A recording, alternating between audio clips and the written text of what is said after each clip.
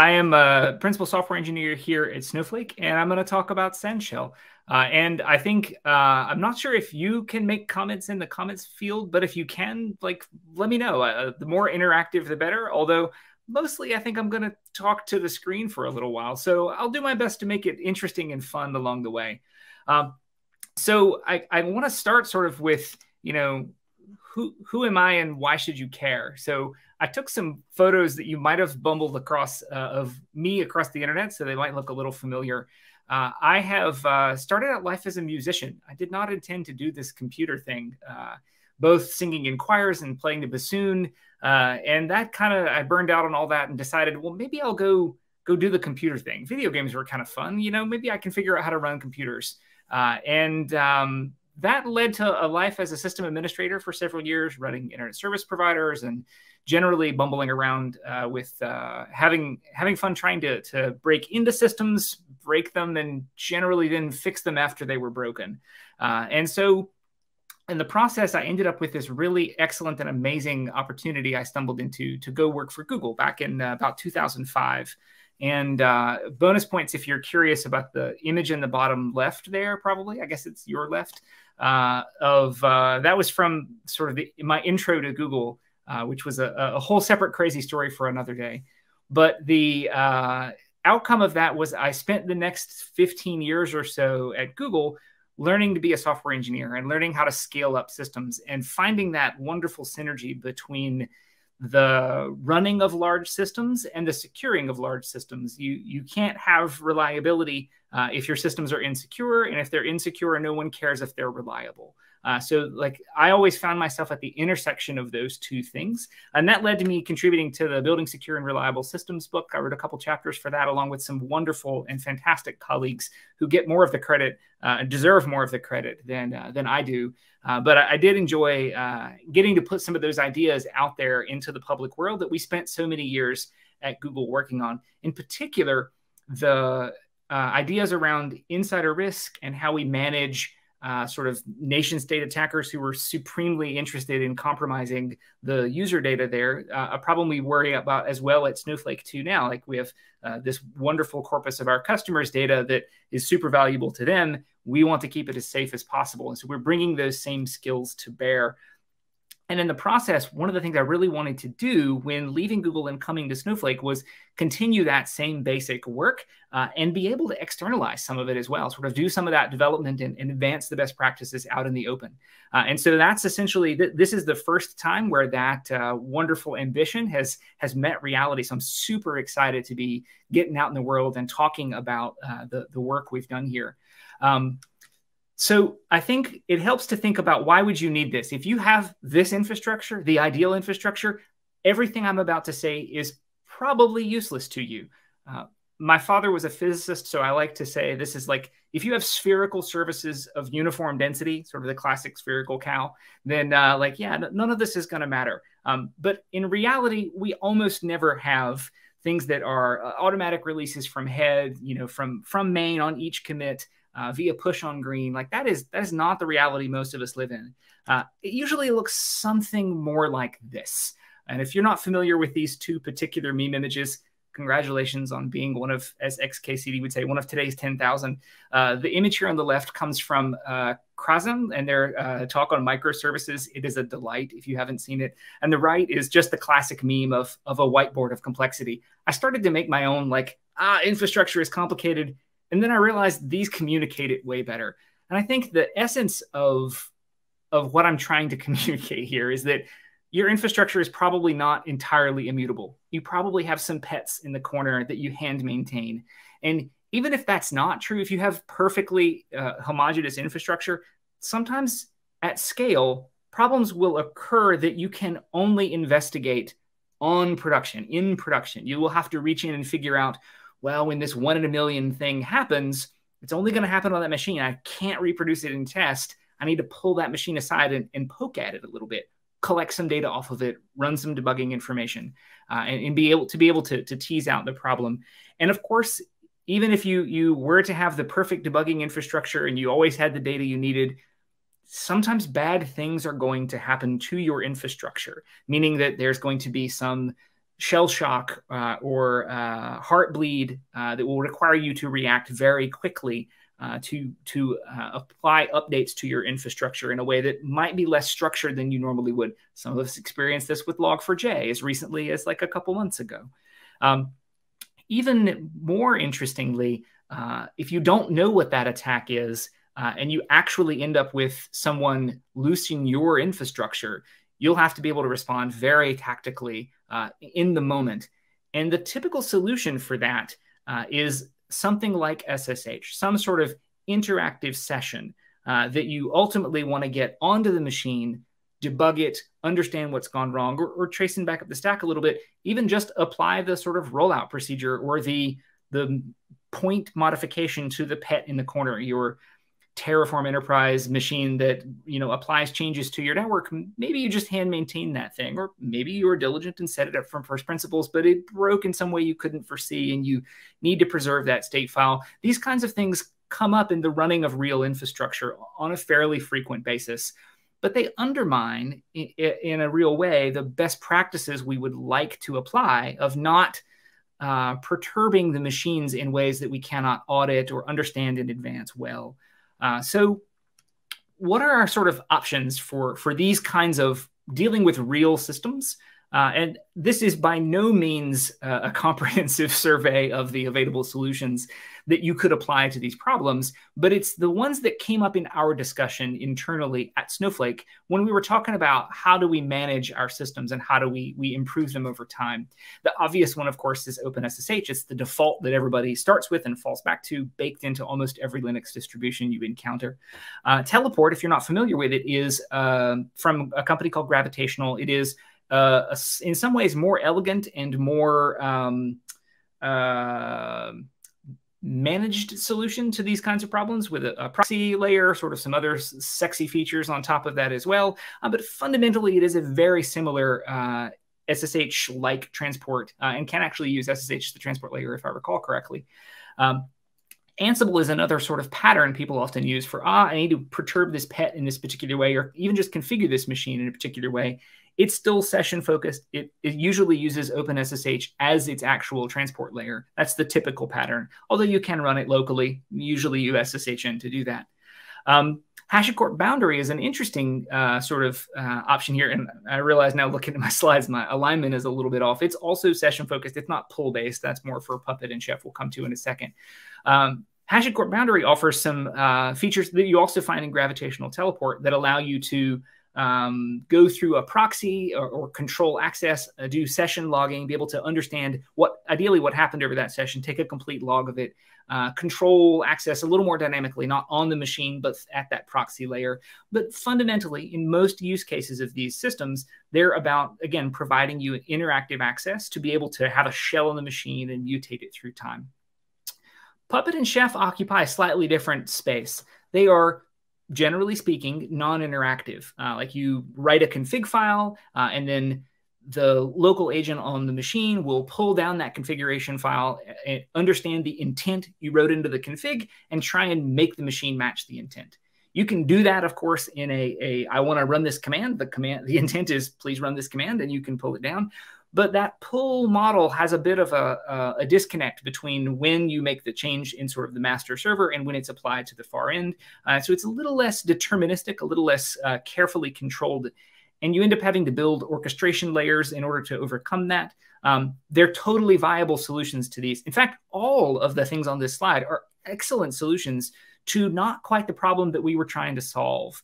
Uh, and I tried to sort of capture that in a, a, way of understanding how they fit together. And forgive my sort of first pass at this Venn diagram, but you can sort of see that on the right hand side, you have those things from the top of the slide, the, the pushed based solutions, OpenSSH, Teleport, Ansible, and Boundary that sort of lean on, on those ideas.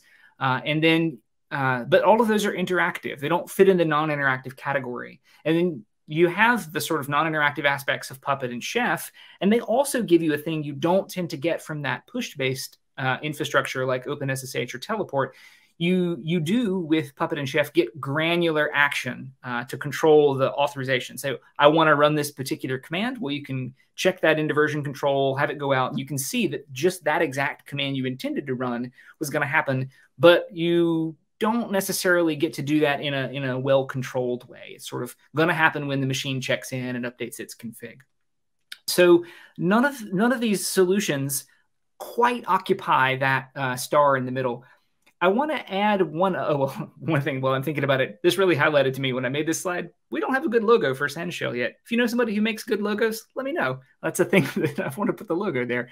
Um, so another testament to how early we are in this process and conversation about SansShell. Like we, we haven't even got a logo yet. It's kind of fun.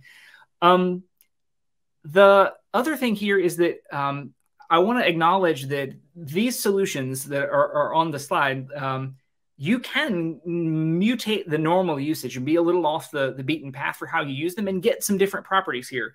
As an example, uh, I mentioned with Ansible, you can uh, use it in an, a non-interactive fashion locally on the machine. Like you could put OpenSSH together and Ansible together, and you could build tooling that would allow you with force command in OpenSSH to only be able to call a certain Ansible playbook with a certain set of args. You can build these tools together in a way to achieve more like the solution that gets you closer to that star in the center.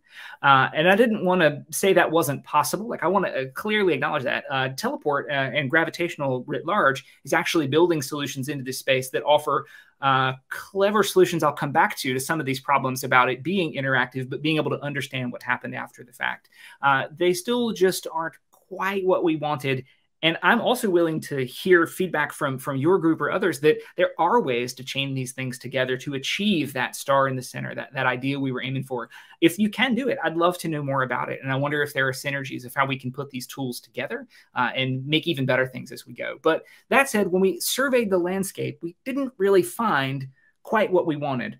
Uh, and so some people will say, why do you care about this non-interactive part that is the key uh, sort of driver behind SansShell.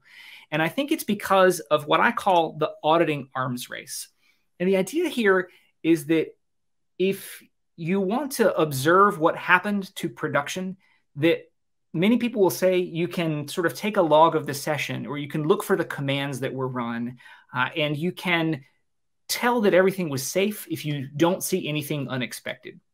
And I think that is uh, uh, that is what I call an arms race because if you let me have access to an interactive shell on your computer and talk to the Linux kernel API, I promise you I can do things you didn't think of that will let me persist access to that machine or do things that I was not supposed to do.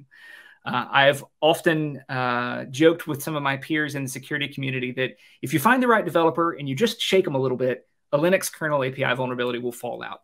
Uh, we had tremendous, uh, I don't, I don't want to say luck. Luck isn't really quite the right word. Success, I'll say, uh, with kernel API fuzzing uh, at Google.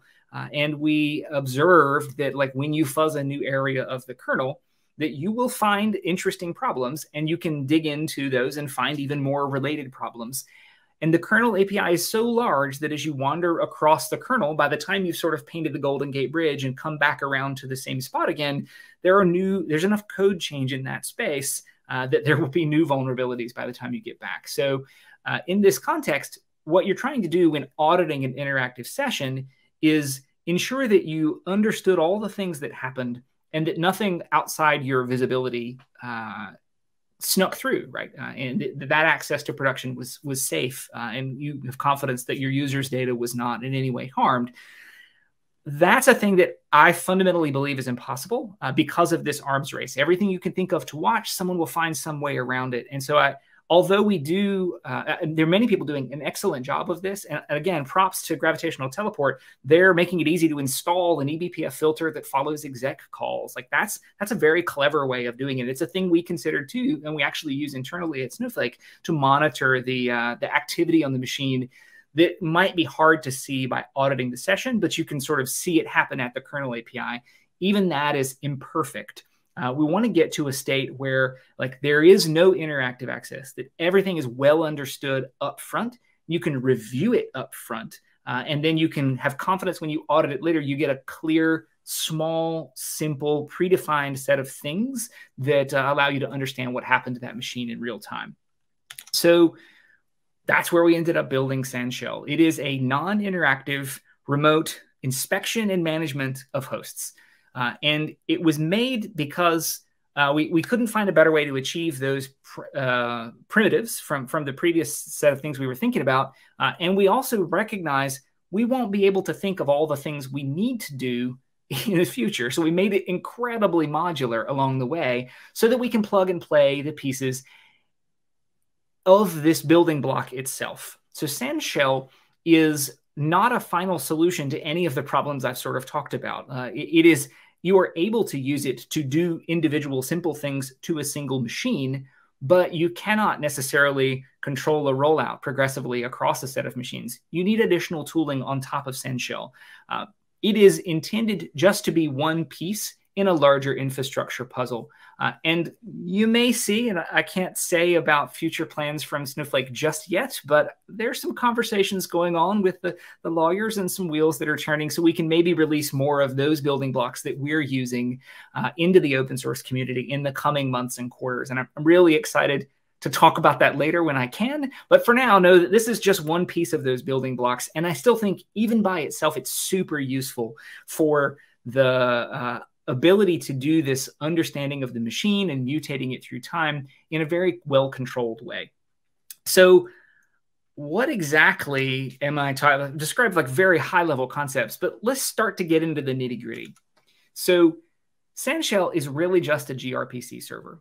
Uh, and if you're not familiar with gRPC, you can think of it like a, a REST API where, uh, with, with a slightly bit more control over versions through time, that instead of passing JSON, as would be typical via uh, REST RPC, it passes protocol buffers, which is a, a Google devised and open sourced solution to wire format of how you pass data around. It, it's um, it's reasonably well. Uh, I, I, imagine probably everybody here is familiar with gRPC. Uh, if you've played with Kubernetes, it's also behind the scenes there as well. Um, so we have two pieces here that we're going to talk about. The sanssh, which is the, the client that talks to the server, and the SansShell server itself. Uh, in the client, there are two broad categories of things. There's the raw commands and the convenience commands. Uh, I'll come back to that in a second, but the raw commands are basically like, I just want to talk to the, the basic interface exposed by SansShell server. Uh, and the convenience commands are, yeah, I want to do something slightly friendlier. I want to do this series of things and I want to do it in one command, one shot. It can bundle those things together and make a series of requests and responses and give you back the, the data you actually wanted without having to do it piecemeal.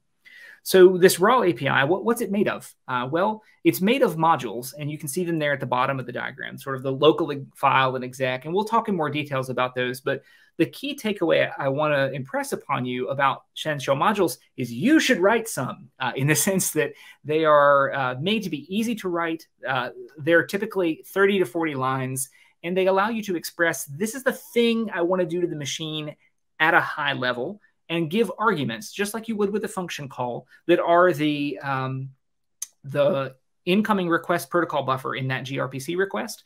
And you can then pass that to a function in your program in SansShell server. Uh, and voila, you can do that to the local machine. And the reason why you should want to do that is because then you can write OPA policies about it. OPA is the open policy agent. Uh, there is a, a language called Rego, which allows you to write quite flexible policies that say if you pass this argument with this value, it is accepted. And if you don't, then it is rejected. Uh, and that is a fairly straightforward way to take the complex idea of I want to run this command and be able to write it simply in a policy like you can only run that command and not another thing. Uh, so let's take a closer look at exactly, well, actually, we'll, we'll come back to that. Um, I mentioned you might have the raw inconvenience commands. Imagine you want to do uh, like uh, collect a set of debugging information from the machine. You want to get a list of the processes running. You want to get a list of the files in temp or etc. And you want to sort of bundle up your application state and, and export it back out. Then that might be three or four of these individual module commands. Uh, and you might want to write a convenience command that is like san sh this machine debug dump. And whatever that might be for your infrastructure, you can easily write that as a, uh, a SANSH client command. Uh, and then you don't have to in interact with the three or four things, and you can rapidly do that one bulk operation and let the, the client and server communicate to derive that package for you on the back end.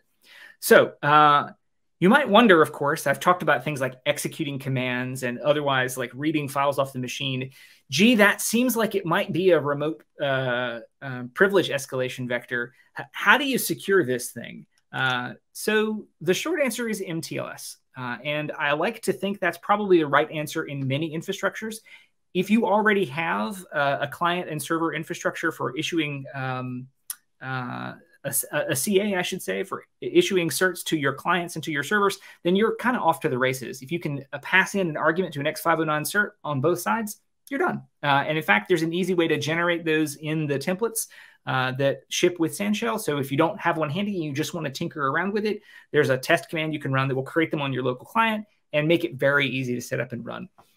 I also understand that most large infrastructures will already have some solution to authentication and authorization, authentication in particular. And maybe you're using SPIFFE, and Spire. Uh, maybe you're using Okta. Maybe you have your own internal solution.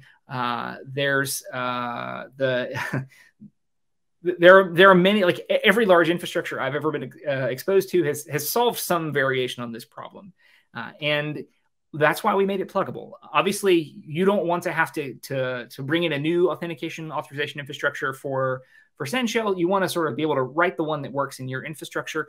We tested this for our own use case because we have uh, internal authentication authorization infrastructure we're piggybacking on as well. In fact, we have the old one and the new one, which is pretty typical for a large infrastructure. So we've actually done a couple of these pluggable things already. Uh, and I think that it should be very easy and flexible enough to cover pretty much anything you could throw at it but maybe not. Maybe you've got some exciting, interesting way of uh, authentication, uh, authenticating between your endpoints. And if so, I would love to make it adaptable enough to cover your use case as well. So we'll, we'll come back to this later. Like send us pull requests, talk to me, uh, grab me on, on LinkedIn or wherever else, and we'll, we'll be glad to figure out how to make this adaptable enough for whatever authentication infrastructure you can throw at it the one sort of mind bending case I've seen of this already, I have a friend who works at Tailscale, a former uh, Googler, and we were talking about well, could he use SansShell within Tailscale, either within their infrastructure or as part of the product, maybe. Uh, and he mentioned that uh, like they already have authentication solved. Like that's the whole point of Tailscale is that they do that at the network layer. So he's, can I just rip it all out? And we're like, huh. I don't know. I don't actually think that would be easy, um, but we should make it possible. And it, it is we're a thing we're already looking at. Like, how can we even make no auth a thing you could choose to do, which seems crazy, um, but in certain circumstances might actually be the right choice. So uh, I mentioned earlier that we'd get into a little more detail about like what the uh, the policies look like and how you might uh, once you've authenticated to the daemon, then you got to figure out is it okay to do these things. Uh, and so I included a sample policy here. Uh, and this is sort of uh, a few different stanzas that describe the, the most basic kind of thing you might want to do. Uh, one of the modules is called health check, and it's just literally like uh, sort of like an ICMP uh, echo request and echo reply. It doesn't take any arguments. It doesn't return any data. It just says okay. Uh, literally doesn't return a gRPC error. And in this case, the input type there you can see is healthcheck.empty, which is the type of message that is being sent. And it is allowed by default. Uh, and this is uh, default is a bit of a stretch allowed by this policy, and this is roughly the policy that ships in the default repository. Uh, but you really should never run the default policy. You should you should of course want to change that for your infrastructure. I'll talk more later about how to do that. But in short, um, you can see a couple examples here of uh, I want to be able to read a file, but only this file name, Etsy hosts, or I want to be able to uh, execute a command, but only this specific command. Like I want to run echo with the arguments hello world. It is entirely possible for you to abuse this interface. You could uh, make the command be a regex match in Rego and allow any command to be run. Uh, it is possible for you to try to write complicated regular expressions that will allow good commands and not allow bad commands it's a powerful foot gun. Don't shoot yourself with it, uh, but it should be flexible enough to allow just about anything you want. One of the things we want in the future, uh, and this is a peek towards the, the future roadmap, is to allow multi-party authorization and multi-party approval so that when you run this command, you might allow general um, dot star access, if you will, to uh, exec request, allow any command to be run but only with approval from another authenticated identity, from a peer in your uh, engineering group, for example. And in that way, you can allow sort of emergency response for things you didn't think of and put into policy. Sometimes these policies can be hard to mutate, and we'll come back to that a little more later too, especially if you have a lot of uh, hosts in your infrastructure, then you may have many thousands or hundreds of thousands of these policy files, and it's not, in my opinion, uh, safe or responsible to update those in and converge them all in a matter of minutes. That would be a little a little likely in the edge case to, to cause an outage. Uh, and so you might want to have that policy lever in place in advance rather than try to mutate the policies in the moment when you think of it. We actually have a, a, a fix in our back pocket for that idea. I'll come back to. Uh, so a little bit more about what these uh, actual modules do. So let's take a look at exec. I mentioned some of them are like 30, 40 lines. The, the Go code that backs this up is very small, very readable, uh, and feel free to, to go poke at it. By the way, um, I should include a link to the, uh, the GitHub repository. Some of these slides are, are going to get to be a little bit of an eye chart in a moment. So uh, Yulia, if you've got the... Um, uh, the link, feel free to drop it in the comments, or it's at uh, github.com slash snowflake dash labs slash sansshell. Ah, and look at that, right on time. Thank you so much.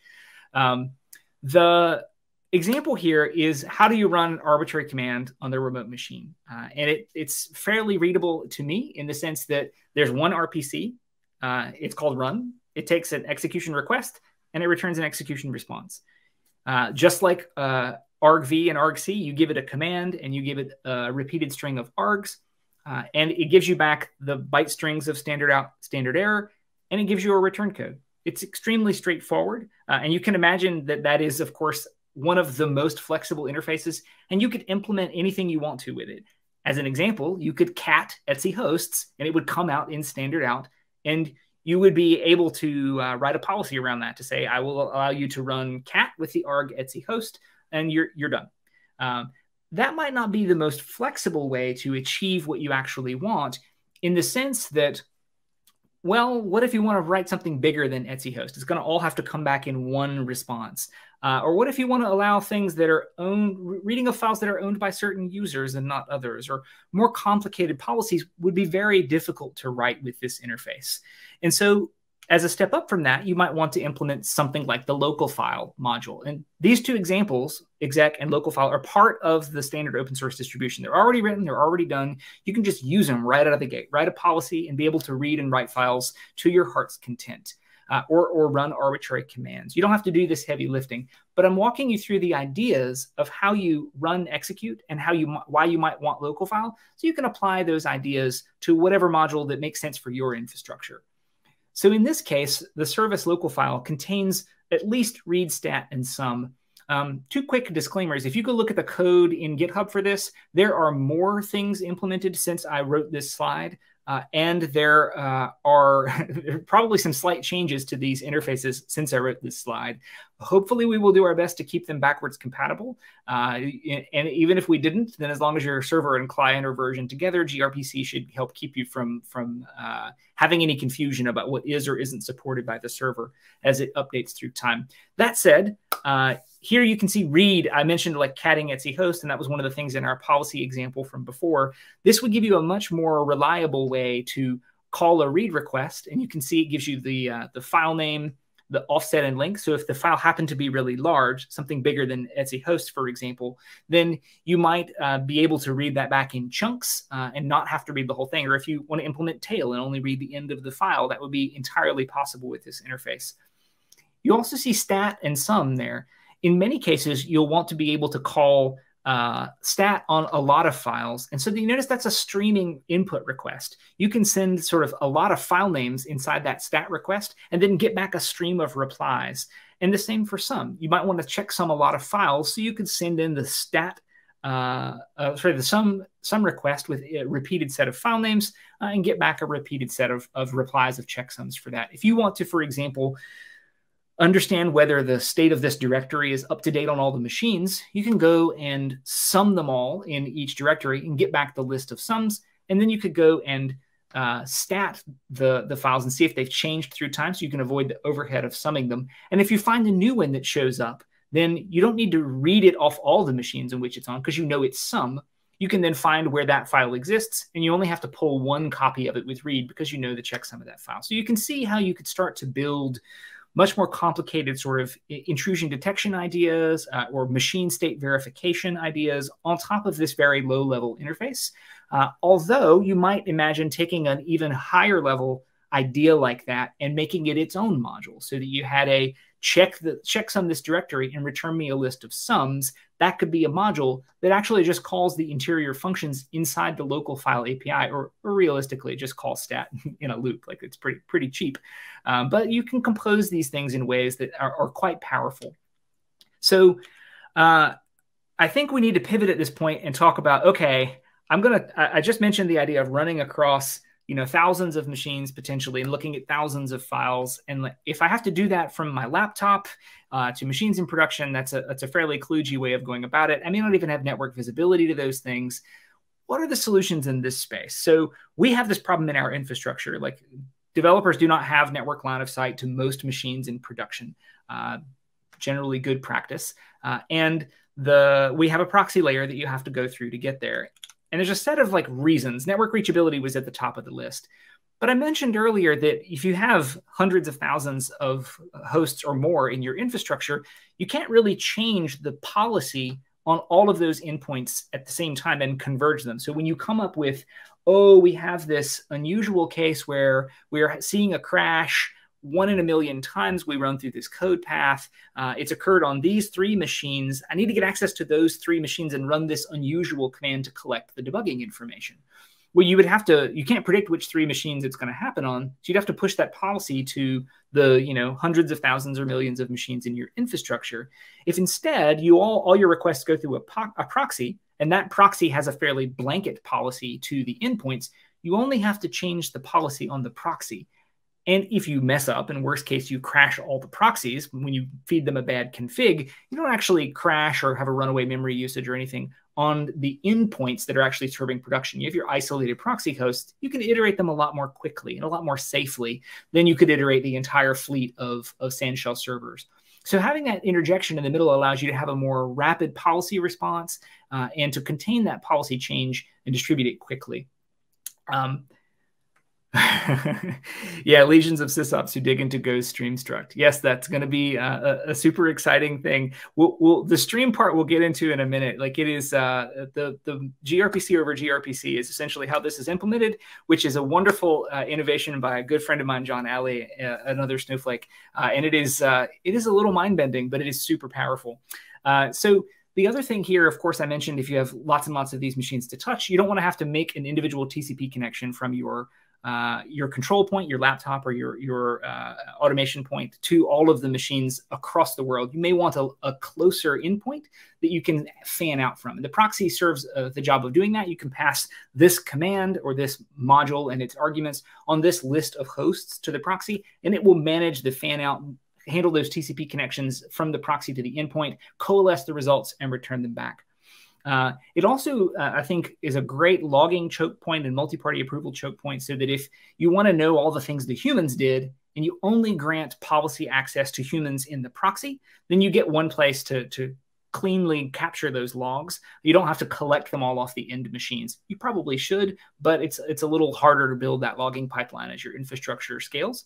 Uh, and multi-party approval is an interesting uh, roadmap feature for the future when you want to say, I need to collect this debugging information or make this emergency change on 150 machines or 150,000 machines or 2 million machines. You don't want to have to issue a multi party approval for each of those invocations. But it's totally reasonable to say, I want to issue a multi party approval for this one RPC that's going to the proxy that lists 10,000 hosts. I review that once, I approve it, and then that allows the engineer who wanted to affect those 150,000 hosts to do so in a big screaming hurry in a way that's approved in advance, that's logged reliably, uh, that is a, uh, a single point to make that approval. And then have everything downstream trust that point. So that's the sketchy part, right? This proxy becomes a very powerful role, and the credential it has is exceedingly powerful if you use it in the way I just described. Uh, and it's also an extra dependency along the way. Like if you if you depend upon going through that proxy and it goes down, you lose your your control infrastructure, your your your out of band or control API for that. So you may want to have another path. Uh, you may not want to use it at all. Uh, you may want to restrict what it can do in terms of that role. Maybe you don't offer it exec. Uh, maybe you don't offer it um, things that you uh, want to constrain even more carefully. Uh, and that's a thing I actually uh, neglected to talk about before. Um, that is uh, an aspect of the, the way all of SansShell is designed.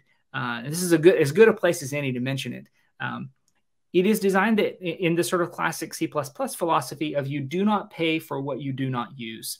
Uh, and that in that, I mean that from a reliability perspective, a code complexity perspective, and a security perspective. Uh, every module has to be explicitly imported in the main statement of SansShell server.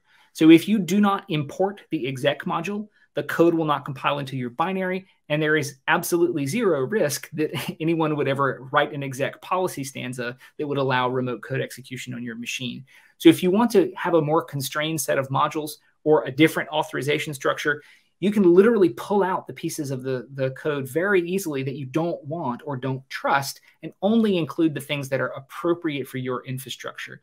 We use that in building the proxy. It incorporates some of those same modules that are incorporated in SansShell, server, and it doesn't incorporate some others that don't make sense. Uh, and in building your own instance of SansShell, which is re really the best way to do it, not to use the stock version, but to create a small fork uh, of that library and modify the SansShell server binary to include the modules you want from your repository, exclude the ones you don't want from the open source repository, and end up with your tailored build artifact, maybe with your tailored authentication authorization story for you. Maybe you have something other than OPA and Rego. Maybe you want to use uh, internally Google, there's a system called RPC Security Policy uh, that looks a lot like Rego. Like I imagine were they to use this uh, at Google, that they would write their own module for that policy language, and then they would be able to use a standard policy expression uh, across the way. I'm certain other infrastructures would have uh, a, a, similar way of, of skinning that cat. But like the, the big point there is if you use the proxy, it's super powerful, um, but you can contain that, contain that in a way that's appropriate for your infrastructure. So let's try and put this whole big picture together. Uh, you've got your user on the left side of our slide here. Uh, they have a CLI that allows them to have a bunch of modules that make it easy to do all the things on the right side of the graph. But ultimately, that devolves down into a client connection, makes a secure MTLS connection to probably the proxy server, where you get to evaluate the OPA policy against what the user is trying to do. Maybe you fan out, maybe you talk only to one server, uh, maybe you reject the policy entirely. Uh, but if it succeeds the policy check, then that passes through that same uh, MTLS uh, authentication on the other side uh, to the gRPC server on the far end. That will be the SansShell server. Uh, and that gets another OPA policy evaluation, again, with the credential of the proxy at that point, not the credential of the user, although the user's identity is passed through for logging. and then it gets into one of those three or, or however many modules that are invoked, assuming that it passes the policy check. and your policy uh, your, your module then does whatever it's going to do, uses the local host API, uh, and all the data flows backwards through that chain, all the way back to the user. Uh, I think that's pretty much the big picture for SansShell. Um, I think I'm on to my thank you slide. So I want to pause and say, although I'm the talking head that's telling you about all this, there was a tremendous amount of humans' effort, different humans, that went into making this possible. Uh, and that includes, if you look at the contributors list in GitHub, uh, my really good friends John Alley and James Chacon, as well as uh, other snowflakes that contributed along the way, uh, would not have been possible without them. I'll give a special call out to Harpreet Dillon, who I don't think is actually listed in the public repository, but did a ton of work internally. Uh, there's been a really wonderful collaboration inside working on this even beyond engineering, there were. Uh, I heard Greg Czajkowski mentioned earlier uh, the in the Polish introduction. Uh, his support was invaluable in getting this out the door, and in terms of uh, discussions with the, the, legal teams and the policy teams and the patent teams, making things happen at a, a, a large company is is uh, often challenging, but in this case, it was really a delight to work with all these wonderful players and be able to bring this idea out into the light of day and advocate for it and give you the tools to take it and run with it and implement it. Uh, so I hope that this is something that is as exciting to you as it is to me. Uh, and I hope people find ways to use these tools in their infrastructure to make them both more secure and more reliable, more auditable, more predictable, and generally more of a delight to operate and deal with on a daily basis. And if you sleep better at night as a result of it, then like I- will feel really happy about that. I think that's uh, pretty much all I've got to ramble on about. Um, I think we should probably pivot and ask if there are questions because I think that's one of the things I'm super interested about as this idea hits uh, sort of the open source community uh, from from Warsaw to the Bay Area to Asia and beyond. Like how how it's received is super interesting to me. And i'm sure we will uncover things i didn't think of when we get it in people's hands uh, and I, I, look forward to, to seeing how that all comes together. Please. i'm really curious uh, you well you publish you open source it right, uh, SansShell? But what improvements, what feature, what uh, changes uh, are you most looking forward to? Oh, absolutely. Uh, I mentioned in passing a couple times that we are talking about uh, multi-party approval. So I should give the big disclaimer: there is no multi-party approval support yet, um, but it's coming soon. In the sense that uh, that's like the, the top of mind feature for us to implement. And uh, there are uh, in the open source space, there of course the ability to think about other authentication and authorization mechanisms. I, I want to see uh, how how those uh, what people need in that space. Like, let us know if there are things that you you want to be able to integrate with. Like I mentioned, uh, the idea of having no authentication uh, is was a crazy one that sort of uh, confused me initially. Like, oh, all right, there there are cases where you actually just trust the network and that's good enough. Uh, so if there are other cases like that that, that seem unimaginable to me, I would love to find those and put them on our roadmap. But multi-party approval and the ability to do stronger audit logging out of the gate uh, encrypting those logs uh, in SansShell before they're written down to disk is another interesting one. Uh, and I imagine we'll, we'll come up with more as we go. Those are the two at the top of the list, though, uh, and, and, looking looking for other interesting ones.